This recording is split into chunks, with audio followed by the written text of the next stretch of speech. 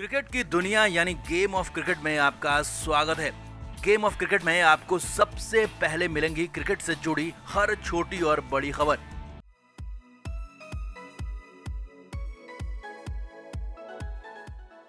भारतीय टीम के पाँचवें वनडे के प्रदर्शन को ठीक ठाक या फिर मिला जुला कहा जा सकता है। वहीं कीवी गेंदबाजों ने एक बार फिर शुरुआती ओवर्स में भारतीय बल्लेबाजों को बड़ा झटका दिया।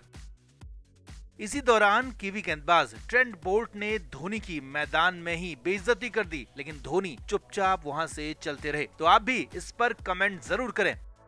ये सब कुछ हुआ मैच के शुरुआत में ही, जब महेंद्र सिंह धोनी बल्लेबाजी के लिए आए ही थे। धोनी पाँचों वनडे में ज़्यादा कमाल नहीं दिखा पाए और कुछ ही देर बाद सिर्फ़ एक रन बनाकर बोल्ट की ही गेंद पर बोल्ड हो गए। बोल्ट की बॉल शानदार थी और धोनी पढ़ नहीं पाए और बोल्ड हो गए। अब धोनी को लेकर वैसे ही कीवी खिलाड़ी डरे हुए थे। ऐसे में जब धोनी सस्ते में आउट हो गए और उनके विकेट्स बिखर गए तो बोल्ट ने धोनी को बहुत कुछ कहा। जब धोनी पवेलियन वापस जा रहे थे तो बोल्ट धोनी की तरफ़ देखकर काफ़ी कुछ बड़बड़ाते रहे और बहुत कुछ कहते रहे।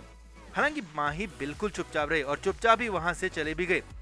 अब ऐसे में कुछ फैंस का कहना है कि धोनी को भी बोल्ट को करारा जवाब देना चाहिए था, लेकिन धोनी का तो अपना अलग अंदाज है। ऐसे में अब आपका क्या कहना है? क्या धोनी को वहाँ पर बोल्ट को जवाब देना चाहिए था या फिर चुपचाप वापस आना ही ठीक था? कमेंट करके अपनी राय हमें ज़रूर बताएँ।